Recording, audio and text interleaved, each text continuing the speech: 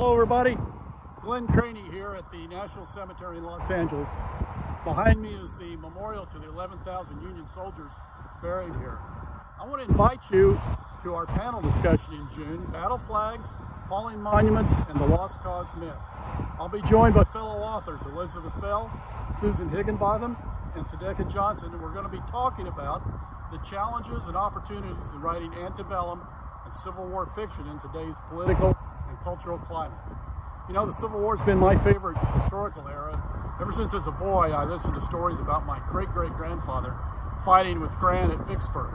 He was involved in the second largest amphibious assault in American history. They crossed the Mississippi River at night because they didn't have supply wagons. They were each given one piece of steak and told to impale it on their bayonets while they marched. This